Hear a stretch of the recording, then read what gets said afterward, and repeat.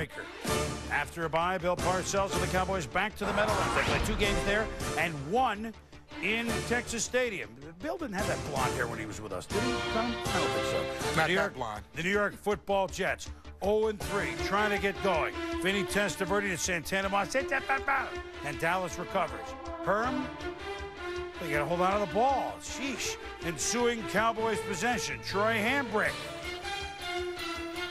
the Jets secondary into the end zone, 31 yards, 7-3. How about the Cowboys? Well, Dan Campbell and Kurt Vollers is going to be the guy throwing the blocks, the guy being blocked, Marvin Jones first, and then Sam Garnes second. And look how they create these blocks. They get to the second level. They are very big people up front, and you've got Troy Hambrick hitting the hole and getting through the hole to the secondary. Nobody teaches it as well as Bill Parcells. Hambrick, 127 yards today. The guy that Bill used to have on both of his teams, Patriots, Jets, or two three teams. Curtis Martin, but Roy Williams, the outstanding safety, punches the ball out. Was late in the second. The Jets were driving for the lead. Meanwhile, Quincy Carter, Antonio Bryant. We saw them in the Meadowlands on that Monday night. Oh, that's sweet. It's reviewed, ruled a touchdown. 14-3 Cowboys.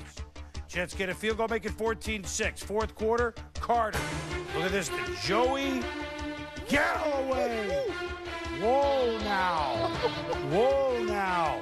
Setting up a field goal, 17-6. Testaverde on fourth and three.